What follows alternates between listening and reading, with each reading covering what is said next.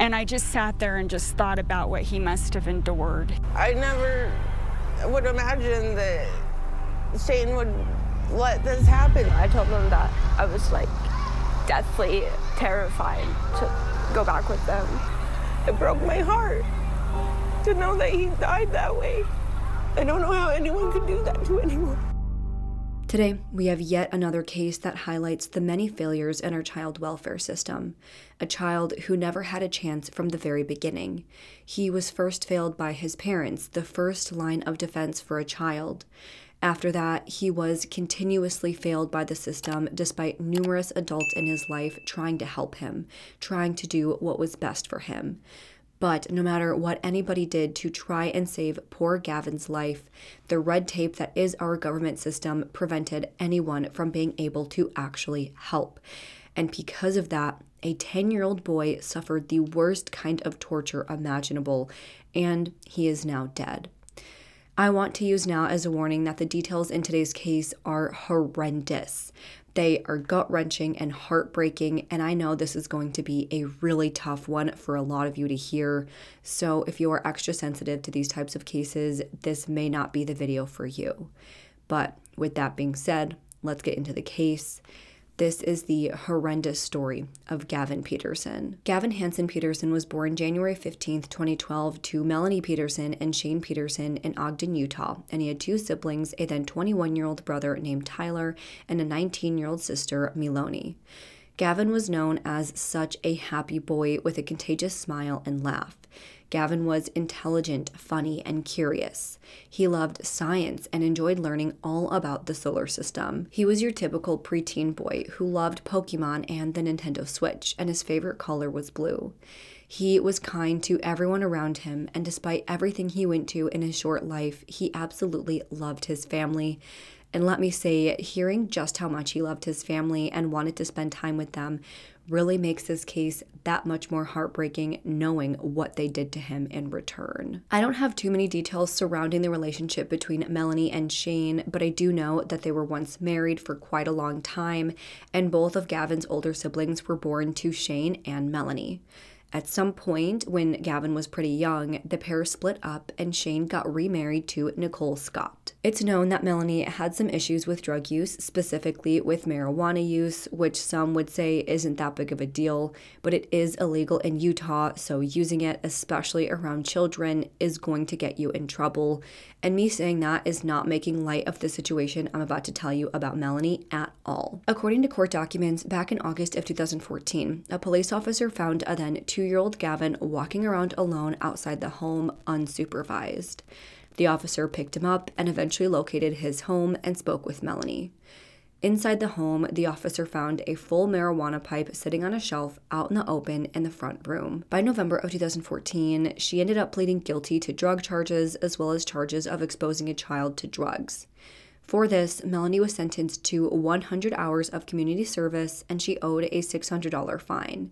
She was also ordered to complete a mental health evaluation and treatment, complete a parenting program, and complete substance abuse treatment. At this time, Melanie also lost custody of all three children pending completion of her sentence. By February of 2015, she completed all of her community service hours and paid her fine. She then officially completed her mental health and drug abuse treatment in July of 2015. She also had a job and was able to maintain her employment.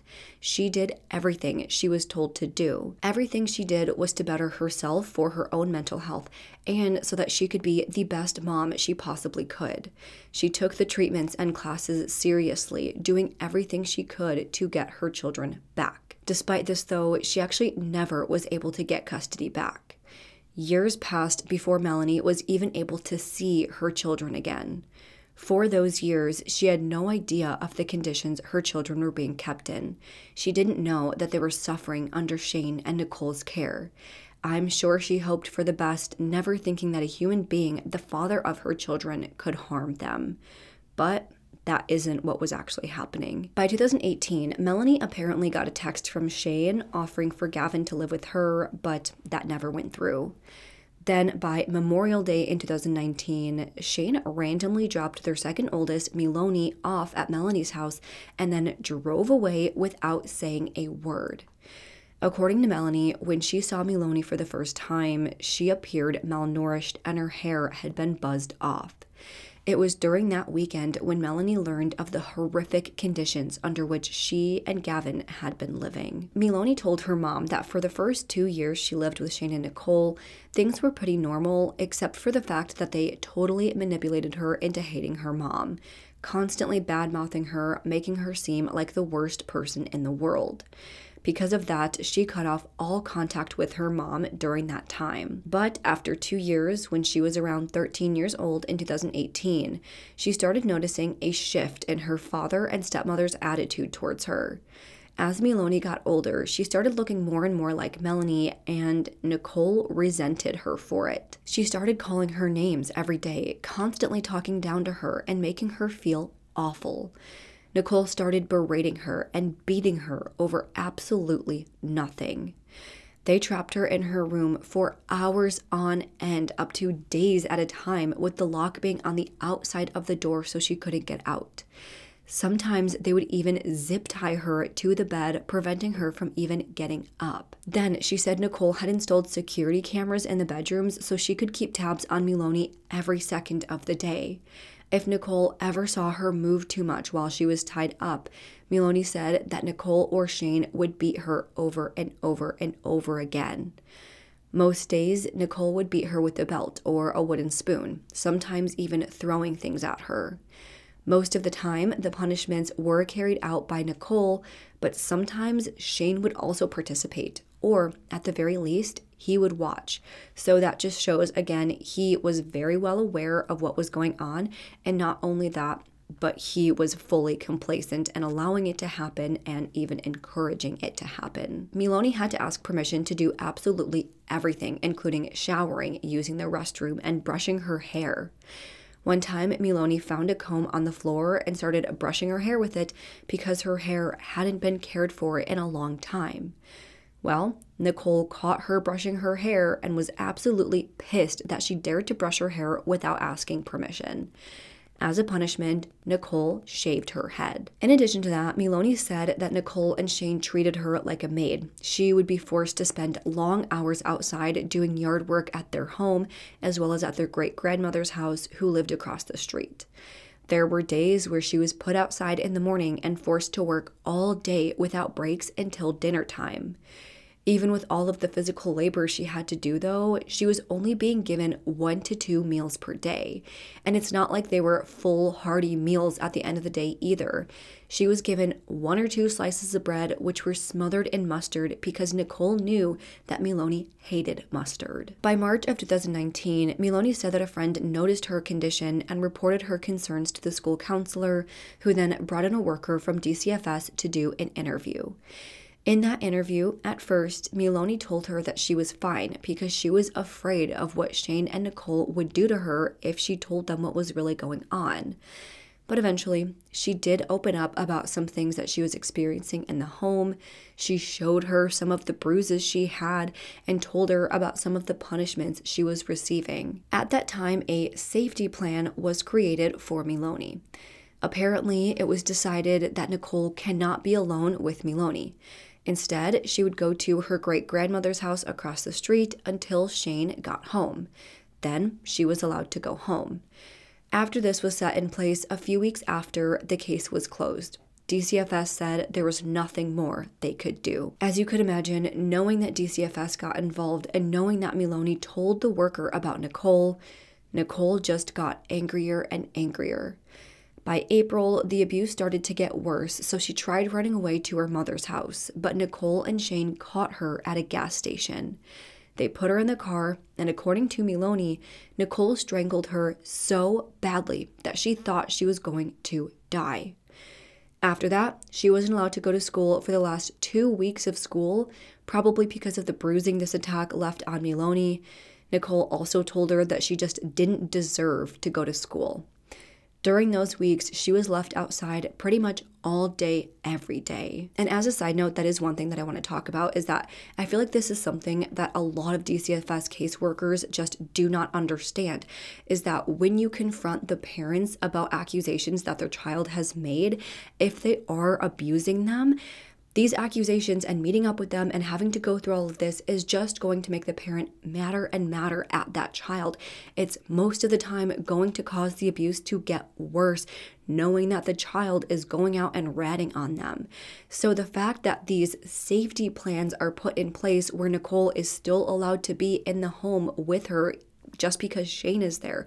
It makes absolutely no sense. And then again, the fact that the case was closed so quickly after and then it was just left like nothing we could do about it is just ridiculous because again you're just leaving that child so much more vulnerable because now their abusive parent knows that they're telling people. And we see that very clearly in this case because I don't think Nichole was strangling Miloni before this. This is the first time we've heard of her going that far. Melani Peterson says she lived in a world of isolation under the roof of her father, Shane Peterson, and stepmother, Nichole Scott. She called me names every day. The emotional and physical abuse started in late 2018 when she was about 13. Melani describes disturbing details like the time Nichole allegedly shaved her head as punishment for brushing her hair. At that time, I was mostly focused on surviving. But that was only the start. They would starve me until I was like really skinny bread with mustard. Melani says Nichole included the mustard because the kids hated it. I can't go there. She also alleges being locked inside a bedroom. Nichole tracked her every move with the camera. At one point, zip tied her to the bed. They would uh, tie my ankles, and she said if I moved, she'd beat me over and over again. Melani says Nichole beat her with a belt or a wooden spoon. In March 2019, a concerned friend reported the abuse at school, and Melani alleges DCFS was brought in. They basically told me that they couldn't do anything. I told them that I was like deathly terrified to go back with them. Instead, Melani says a safety plan was created and Nichole wasn't allowed to be alone with her. I remember her telling me she wanted to kill me. But the abuse allegedly continued until May of 2019 when Melani was finally able to go live with her mom. But Gavin wasn't allowed to come with her. Either way, by Memorial Day in 2019, Meloni was mowing the lawn when she ran over a sprinkler and broke it. At the time, Nichole was sleeping and Shane was the one who caught her. She was absolutely terrified of what would happen as a result of this. But at the time, Shane told her to get in the car so they could go buy a replacement. However, instead of getting that replacement, Shane drove her over to Melanie's house and dropped her off. Without any word, without any explanation, he just dropped her off, and that was that. And that is when Melanie saw how underweight Miloni was and was immediately concerned. Now, after being dropped off with Melanie and telling her of the abuse she endured all that time, of course, Melanie reported this to the police department, who then referred her to the Department of Child and Family Services. When she first tried to make the report, it was a holiday weekend, so the offices were closed. Eventually, she was able to make a report, and DCFS workers did come to interview Miloni. But, as you could have guessed, nothing was done. One of the officers Melanie originally spoke to really downplayed the accusations. He basically told her that, you know, Shane might have been a bit too strict while Melanie was a little bit too lax in her parenting style. The officer said that he couldn't arrest someone over, quote, a bad haircut. Then, when interviewed by the DCFS worker, they basically told Miloni that there was nothing they could do without physical evidence even though she had a bruise from Nichole's beating, even though she was very clearly underweight. They said there was nothing they could do. No real investigation was done, and the case was closed, leaving Gavin and Tyler in that home with the two abusers. By November of 2019, Melanie fought harder than she ever did before to see Gavin, especially now knowing what they were going through. By now, she was finally granted visitation rights and was allowed to see Gavin every other weekend. During these visits, she also noticed signs of malnourishment on Gavin. This time, Melanie decided to document her concerns so that there would be proof of this if the case was ever investigated. So, by February of 2020, during one of these visits, she took a photo of Gavin shirtless, looking very clearly emaciated and underweight. However, Melanie taking that picture only caused Nichole to get pissed. According to Melanie, Nichole found out that she took this photo, and in response, she made a false complaint to DCFS, which ended her visitation rights while DCFS investigated the complaint. This investigation was super dragged out though, because the timing of it just couldn't have been any worse. This was all happening right at the start of the COVID pandemic. Most things were starting to shut down around March and April of 2020, so this case just sat in limbo for years. Because of this, that February 2020 visit was the last time Melanie saw Gavin. Meanwhile, as Melanie was being blocked from seeing Gavin and Shane and Nichole were allowed to continue this alleged abuse, those at school were also starting to notice red flags from Gavin. During the 2021 2022 school year, teachers and staff were concerned with how small Gavin looked. He definitely looked small for his age. He was quite thin and his hair was buzzed. He was also missing school quite frequently. That, obviously, in and of itself, is not a huge problem. Some kids are just small, some like having short hair, and some get sick a lot. However, there were some behaviors that stood out to staff, especially one school cafeteria worker, Jan. Jan got to know Gavin pretty well during his time at school.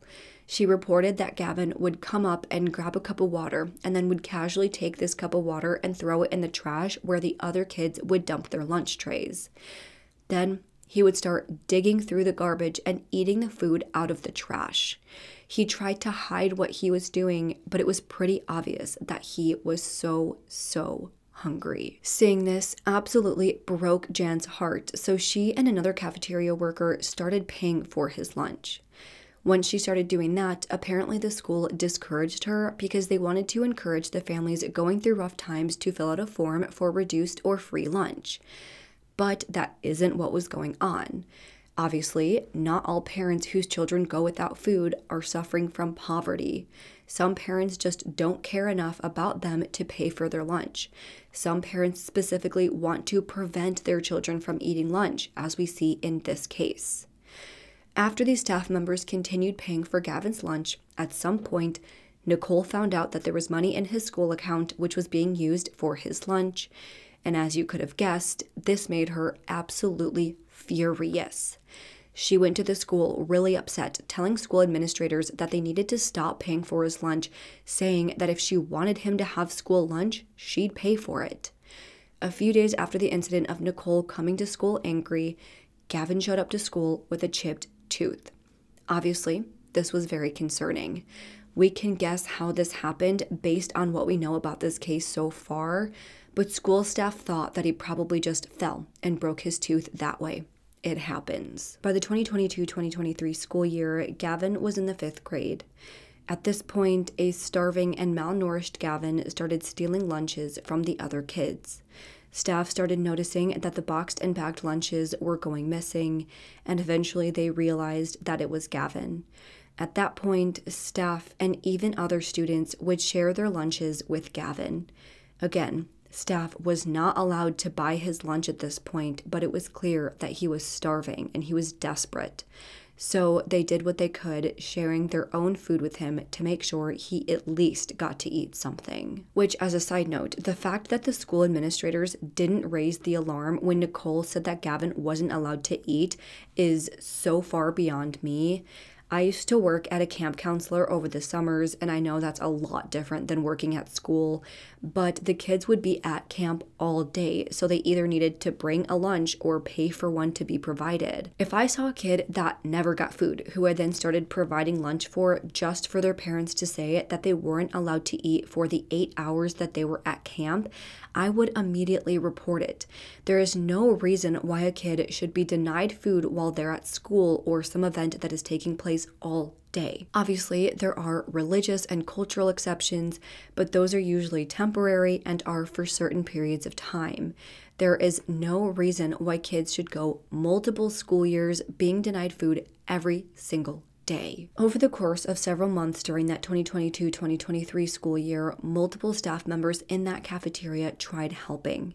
At first, when they called the Department of Child and Family Services to report their concerns, they were told that the principal needed to make the report. So they reported their concerns to the principal, who said they'd take care of it.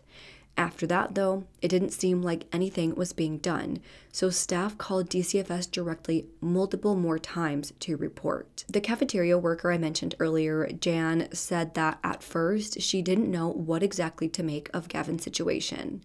Was he a kid with an eating disorder and that's why he was eating out of the trash? Or was he starving? She also wondered why he missed so much school. Was he really just sick all the time, or were his parents keeping him home? She felt that school was a safe haven for Gavin, so when he missed, she was really concerned. She wondered why school administrators weren't following up more with these absences, seeing how frequent they were. But as I said, over time, the more she got to know Gavin, she was really concerned that he truly was being starved and she knew he was suffering. But despite her best efforts, nothing was being done about it. In fact, she was prevented from helping. By August of 2023, Nichole ended up pulling Gavin out of school completely to homeschool him.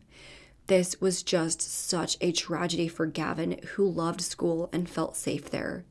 At school, he had other people watching him. In my opinion, none of these people did even close to enough, but he at least had other adults keeping an eye on him. He got to eat food given to him by other students and staff. He was free from abuse while at school. He got time to socialize with other kids and learn all about the subjects he loved. But now, he was pulled out and spent all of his time at home no escape from everything he was going through. After Gavin was pulled from school, no one saw him or heard anything about him for almost a year. There were no updates to his case. It didn't seem like anyone bothered to check on him after being pulled from school. None of the DCFS reports were followed up on even the staff at school. They all wondered what happened, but no one was giving them answers. Jan, the cafeteria worker, said that she really hoped that maybe he stopped attending that school because he was pulled from the home with Nichole and Shane. She was hopeful. She wasn't getting any answers and she wanted to know what happened, but she wasn't getting those answers, so she was just hoping for the best. But unfortunately, that was not the case. Nothing happened in this case until July 9th, 2024, when officers were called to the home of Nichole Scott and Shane Peterson with reports of an unresponsive child. According to first responders, when they arrived to the home, they found Gavin lying on the bathroom floor unconscious. They were told by Shane and Nichole that Gavin had been sick for several days. He was vomiting repeatedly and now was not breathing. He was then rushed to the hospital, but it was too late. He was pronounced dead at that hospital. Immediately upon examining 10 year old Gavin, it was clear that he was extremely malnourished and underweight. According to examination by doctors, it appeared that he was malnourished to the point that his internal organs shut down completely. At this point, it's too early to know an exact cause of death, However, I think it's pretty clear what happened. This poor, sweet 10 year old little boy was starved to death. After finding Gavin's body, of course, an investigation into his death began. As you could imagine, they found that Gavin was being forced to live under horrific conditions.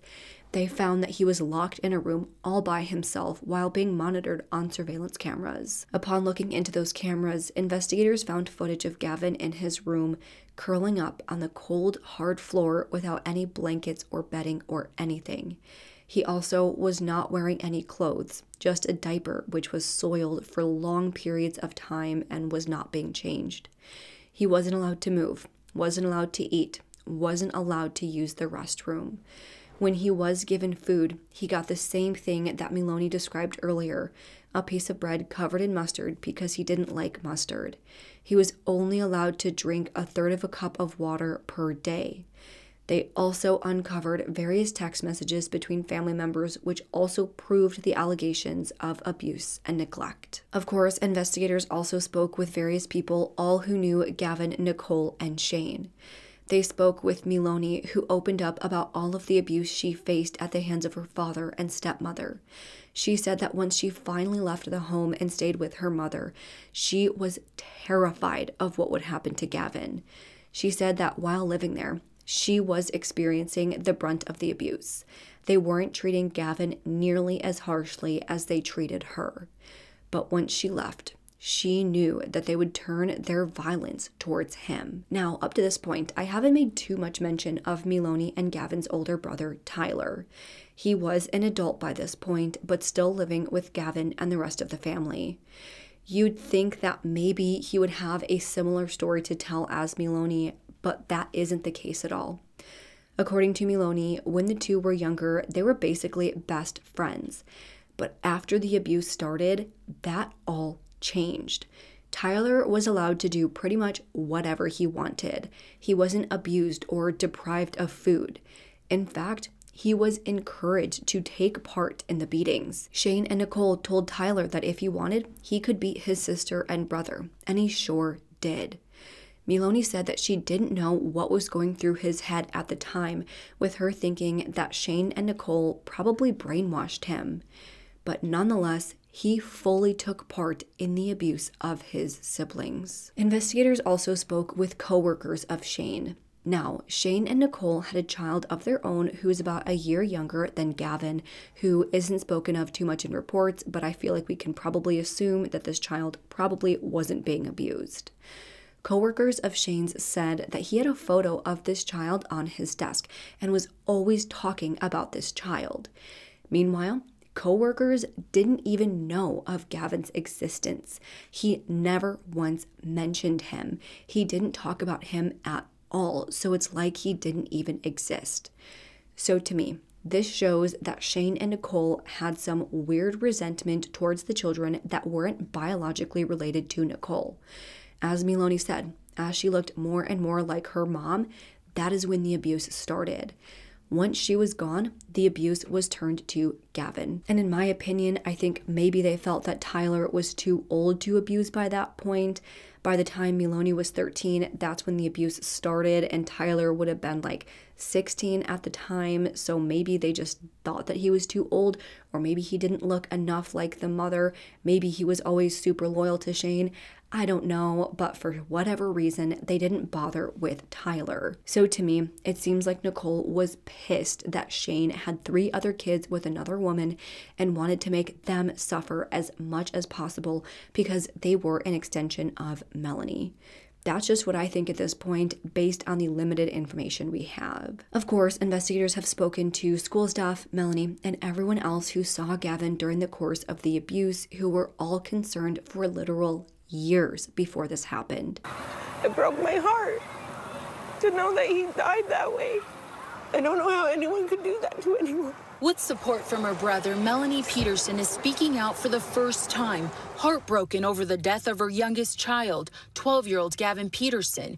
Gavin was under the legal custody of his father, Shane Peterson. He lived with Shane, stepmother Nichole Scott, and oldest brother Tyler. The last time I saw him, I took a picture of him um, because he looked so skinny. Melanie was last allowed to see Gavin four years ago when Gavin's father and stepmother found out that she was taking pictures to show the Utah Division of Child and Family Services.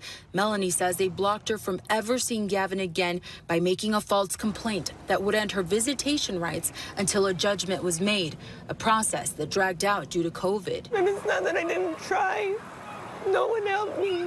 I never would imagine that Shane would let this happen to starve him and let him die. After the discovery of Gavin's body, investigators had a pretty clear picture of the abuse he suffered. He was being abused and neglected over the course of two long, grueling years, if not longer. Finally, after suffering so, so very much, his body couldn't handle it. And as a result of his mistreatment, Gavin lost his life. So, 46 year old Shane Peterson, 50 year old Nichole Scott, and 21 year old Tyler Peterson were all charged with one count each of child abuse homicide, two counts of aggravated child abuse, and one count of child endangerment. Then, Nichole is facing an additional two counts of obstruction of justice and one count of drug possession. Tyler is also facing a charge of obstruction, which to me again just blows my mind that Nichole was also caught with drugs. She could have been caught with them earlier had DCFS followed up, and maybe they would have taken it as seriously as they did with Melanie. I mean, the drugs were the reason they were with Nichole and Shane to begin with. So the fact that Nichole also had drugs just makes this whole situation that much worse. That Melanie was being kept from her kids for years, even after completing multiple, multiple steps to better herself and her parenting. Yet Nichole was actively abusing those children and also had drugs, which I guess in Utah is the worst thing you could possibly have, and she was still allowed to keep them. It's just absolutely shocking and devastating and doesn't make any any any sense. Of course, this is yet another case of a clear failure by the system. Family members and school staff are all furious at the lack of action from DCFS despite the numerous calls. The fact that Melanie herself was brave enough to report the abuse, yet was told that no one can be charged over a bad haircut, is just insulting and it is such a slap in the face. This is yet another state, Utah, where whatever the system is doing is just not cutting it. They are lazy, incompetent, and do not care about the welfare of children, and that is made crystal clear in this case. They would rather keep a mother who smokes weed and, yes, was irresponsible, but took the steps to improve herself. They would rather keep her from her children than someone who is actively abusing and starving her children. After Gavin's horrifying and absolutely preventable death, lawmakers in the state of Utah have been demanding answers from DCFS. Two lawmakers from the state said that they will be questioning DCFS about the lack of response to the multiple reports filed with them. As we heard, school staff made numerous reports of the abuse before he was just removed from the school altogether. He was locked away for an entire year with no contact with the outside world, suffering alone in silence as his body shut down from starvation. Lawmakers say that they're asking things like how many times was this truly reported? Was it multiple caseworkers who all dropped the ball? Or was it one person who failed to do anything? Was it a group of people who all collectively ignored a starving child? We truly don't know at this point. One state lawmaker, Christine Watkins, says that she's working on a bill that would enable social workers to get a warrant to ensure a child's well-being. She said, quote, DCFS wants the right to be able to get a warrant to be able to put eyes on a child. They don't have that right now. We don't have that anywhere in the law. There are rules in place that say parents have a right to raise their children in the way that they want, and the state can only step in at certain times. With this, she also wants to include a clause that would automatically trigger a welfare check on a child after a certain number of red flags are raised or complaints are filed. She continued, quote, When DCFS have so many reports that people think a child is being abused or neglected or hungry that after so many of those reports, they have to act. We're not going to let them off the hook. She said that the bill is in very early stages, so obviously there's a lot to iron out, but she hopes that this kind of bill can bring positive change in the way child endangerment cases are handled. And I just sat there and just thought about what he must have endured. Sabrina Tracy says hearing about 12 year old Gavin Peterson's story has been difficult to stomach. You know, just sitting in that little room in a diaper being fed one piece of bread a day. I want DCSF to come out behind their curtain because up until this point, all they have essentially said is due to privacy regulations, we cannot comment. Tracy told me she saw the complexities of the system firsthand when concerns over possible neglect came up in her extended family. So they started keeping the kids in the house all the time. They took them out of school. In Tracy's experience, it took relentless calling and reporting for months on end before the boys were removed from the home in question, something she wishes Gavin had. I want to know what reports were were made. Is that information even you on us like this committee in our legislature that you still don't know? Yes. We um, we are not allowed to hear that. Representative christine watkins chairs the child welfare oversight panel in the utah legislature. I think we're just at that at that point where we know we need to change some laws or create new laws. Right now, Watkins is working on a bill that would allow social workers to get warrants if a child's safety is in serious question. And given the fact Gavin died and there may be other kids in tough spots, I asked if anything can be done sooner. Well, I think if they uh, call DCFS, they also have uh, the right to call police uh, and they can work together. An answer that points to a system Tracy knows to be broken. I don't know why they take the amount of time they do or where that disconnect is in getting that warrant to get them out and get them safe. Obviously, this is a tragic case that was mishandled so, so severely. Yet another case where many social workers have ignored or failed to follow up on ongoing reports of abuse. It's so frustrating, so disheartening, and just heartbreaking for little Gavin, who suffered so much for so long. However, I will say that it is refreshing to see a lawmaker who is out there and trying to make change, trying to actually do something about this rather than just letting DCFS slip it under the rug. I genuinely hope that change happens and I genuinely hope that DCFS takes accountability for this, but I'm so jaded at this point. I don't feel like that's going to happen, but I guess we'll see. As for Shane, Nichole, and Tyler, they recently had their first court appearance for their charges, where all three were held without bail. I think they cut them off from our family. Jared Doman is 12 year old Gavin Peterson's uncle. He says Gavin's dad, Shane Peterson, and stepmom, Nichole Scott, kept Gavin and his siblings away from extended family for years. I think they started cutting them off from the rest of the world as well. Jared's family is devastated by Gavin's death. When I learned about it, I felt sick to my stomach that you could allow your child to reach that point of starvation that their organs are going to shut down. Shane, Nichole, and Gavin's oldest brother, Tyler Peterson, are charged with his death. I do feel a lot of anger over that. I don't know if I have words for Nichole.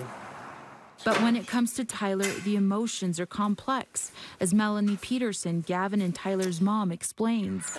I will always love all my kids. I love Tyler. Melanie says Tyler is autistic. She thinks he was manipulated by Nichole and Shane. I do feel like he was a victim, and he's got his own story. KSL legal analyst Greg Skordas says a competency evaluation will determine if Tyler can stand in trial and could be a mitigating factor with the judge and prosecution. And whether or not he holds the same level of responsibility as a normal adult. As of right now, that is where the case sits as we await to hear back about their pleas and if there will be a trial. I just hope that they all suffer behind bars and get the worst possible treatment while there because that is what they deserve. They're all just complete monsters who looked in the face of an innocent, adorable, kind little boy and continued to abuse and neglect him for years. Cases like this will never fail to amaze me. The fact that Nichole had so much hate in her heart for these children, yet instead of just giving them back to her mother so she didn't have to deal with them, she kept them so that she could abuse them. She wanted them to suffer. She wanted to watch them in pain, and so did Shane. I'm also confused by what these parents think is going to happen in these cases. Like, you think starving a child for years isn't going to cause their death? These people always act surprised when the child dies from the abuse. Like, what did you expect?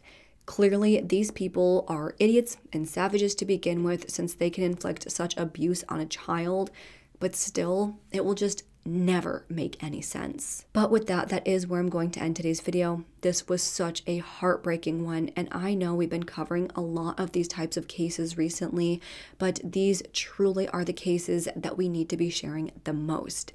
We need to see change in these systems. We need to hold the systems accountable for how they treat children. And most of all, we need to remember the names and faces of those children who lost their lives far, far too early. After hearing all of the details, I really want to hear your thoughts. Why do you think DCFS failed to follow up on both Gavin and his sister's reports? Why do you think Nichole did this? And why do you think Shane allowed it to happen? What do you think of the state preventing Melanie from seeing her children? And what do you think can be done in the future to prevent this from happening to another child? Let's discuss this and any other thoughts you have in the comments below. If you like this video, please make sure to go ahead and leave this video a thumbs up and subscribe to my channel. I put out new true crime and mystery videos every single week. Don't forget to turn the notification bell to on so you don't miss out on any of my future videos. Make sure you follow my Twitter, Instagram, Facebook, TikTok, Spotify, and Apple Podcasts. All will be linked down below. And if you have any case suggestions, please make sure to fill out the Google form, which is also listed down below. With that, I hope you guys have an amazing week. Stay safe, stay healthy, and I hope to see you next time. Bye.